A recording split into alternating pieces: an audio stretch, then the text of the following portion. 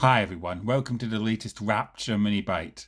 This week I'm delighted to say we have Julie Duncanson. Julie has appeared with Rapture twice. First in Frankie and Johnny in the Clair de Lune by Terence McNally, and more recently in Shang-a-Lang by Catherine Johnson. Julie is also well known for her numerous appearances on television, from programmes as diverse as the comedy Velvet Soup to the Scottish soap opera River City.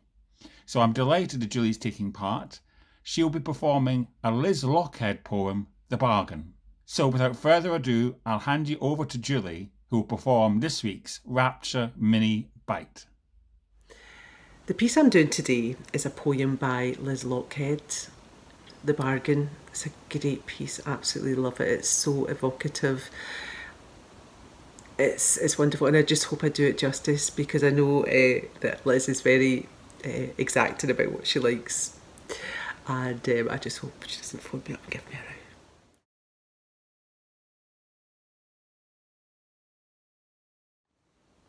The river in January is fast and high. You and I are off to the barras, gathering police horses, twitch and fret, at the Tron end of London Road in the Gallowgate. The early kick-off we forgot has us 3.30 rubbing the wrong way against all the ugly losers getting ready to let fly where the two rivers meet. January, and we're looking back, going forward, don't know which way.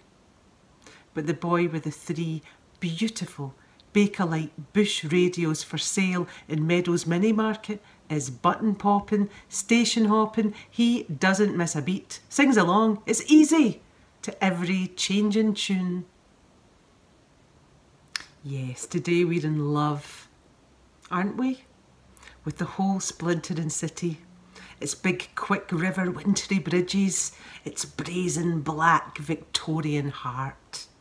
So what if every other tenement wears its hearth on its gable end? All I want is for my glad eye to catch a glint in your flinty northern face again, just once. Oh, I know it's cold and coming down, and no, we never lingered long among the shipbank traders. Paddy's market underneath the arches stank too much today, the usual wet dog reek rising from piles of old damp clothes.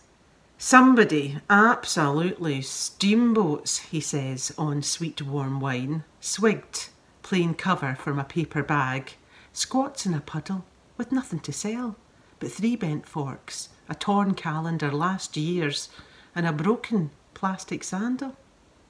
So we hadn't the stomach for it today. We don't deserve a bargain then. No connoisseur can afford to be too scrupulous about keeping his hands clean. There was no doubt the rare, the beautiful and the bugle beaded. The real antique, dirt cheap among the rags and drunks you could easily take to the cleaners. At the Barras, everything has its price. No haggling, believe me, this boy knows his radios. Pure utility, and what that's worth these days.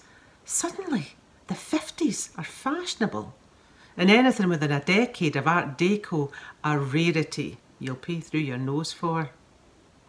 The man with the pattern and all these curtain lengths and fiberglass is flabbergasted at the bargain and says so in so many words.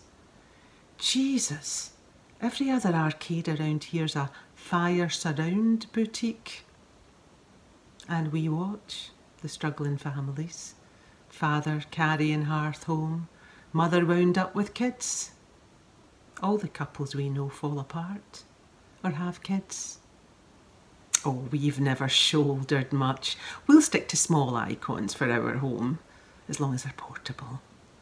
A dartboard, a peacock feather, a stucco photo frame. We queue in a blue haze of hot fat for Danny's donuts that grit our teeth with sugar. I keep losing you and finding you. Two stalls away, you thumb through a complete set of manuals for primary teachers in the 30s. I rub my sleeve on a rusty Chinese saucer till the gilt shows through. Oh, come on, we promised we'd not let our affection for the slightly cracked trap us into such expenditure again. Oh, even if it is a bargain, we won't buy. Stallholder says will be the death of us. She says, See January.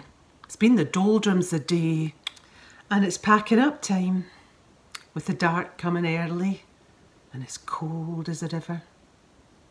By the bus stop, I show you the beady bag in the maybe rosewood box with the butterfly inlay and the broken catch.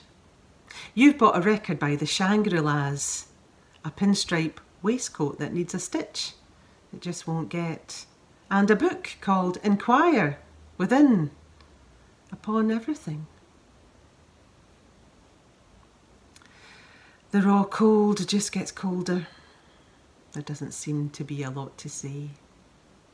I wish we could either mend things or learn to throw them away.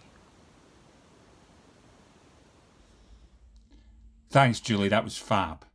And thanks also to Christina Cox, who provided all the images that you saw in that performance.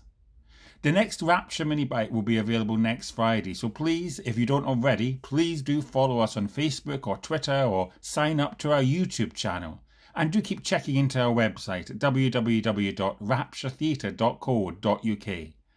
Thanks again, thanks for your support, it means a lot. And we look forward to seeing you next week.